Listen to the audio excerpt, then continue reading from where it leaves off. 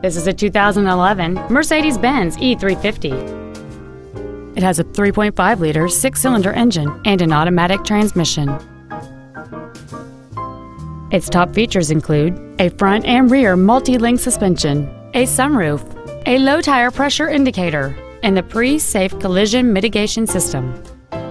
The following features are also included air conditioning with automatic climate control, cruise control, an auto-dimming rearview mirror, an engine immobilizer theft deterrent system, 12 volt power outlets, front and rear floor mats, rear fog lamps, stability control, halogen headlights, and this vehicle has fewer than 14,000 miles on the odometer.